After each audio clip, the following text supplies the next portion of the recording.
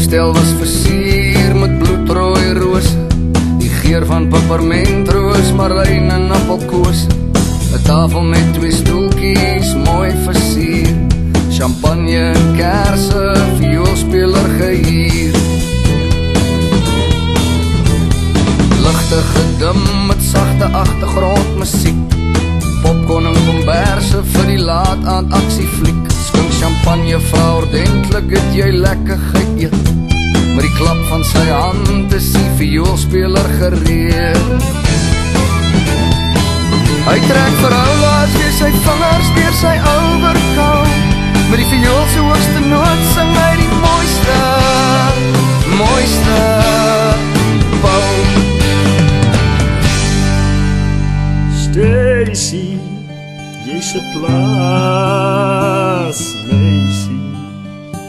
Ek sing vir jou 'n song op 'n bekende song se wysie.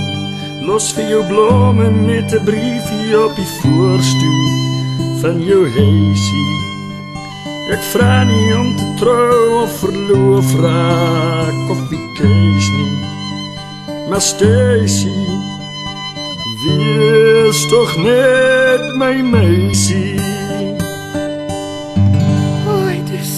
mooi, maar jy weet ek is verlief op Daisy. Wat het hy van ek? Nee. Sy voort is niks teen my Opel Kadett. Hy het nie Max nie of 'n turbo of 'n free flow exhaust nie, nie onligte of 'n aluminium drukvlek soos 'n Porsche nie. Ek het vir op my dashboard my suspension is gedrop. Hy het nie low profile wiele nie, hy vat jou vir 'n pop. Hy sê hy kom jou wys en dan verdwyn hy soos Bin Laden. Hou op, druk hy die jol in jou analen. Is 4 uur Vrydagmiddag by Bronkhorstspruitdam. Stacy maak toebroodjies met mayonnaise en ham. Stacy roei die bootjie om die nice spot te kry. Hy sê die sunset lyk so mooi as mens baie ver uitry. 'n Vis swem vinnig by die boot verby en Stacy sê sy's bang. Stacy trek sy hemp uit en duik in om hom te vang. Hy klim terug in die boot en sê daar's niks om oor te paniek. Hy vou sy arms om haar soos Leonardo in Titanic. Hy check gou weer die sunset uit en kyk dan wat sy tyd. Hy haal sy klein mond vletjie uit en begin vir haar 'n tune te fluit.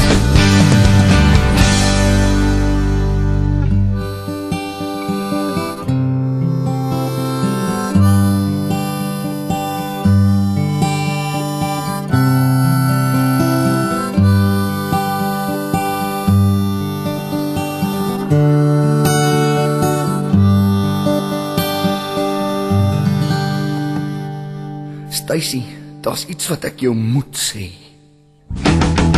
My kar het nie low profile wiele nie. En ek swat ook nie by tikkies se wiele nie.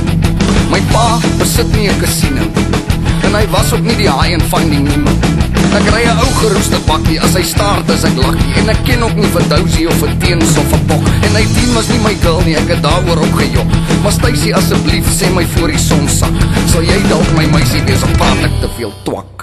Oi, Daisy.